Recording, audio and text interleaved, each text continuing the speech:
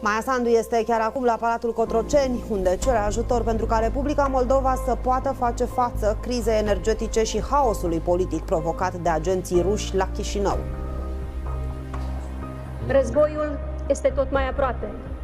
Rachetele rusești care țintesc infrastructura ucraineană cad și pe pământul nostru. S-a întâmplat chiar ieri. Din cauza războiului, trecem printr-o criză energetică majoră și riscăm să rămânem fără gaze și electricitate în această iarnă. La fel de gravă este situația în ce privește electricitatea.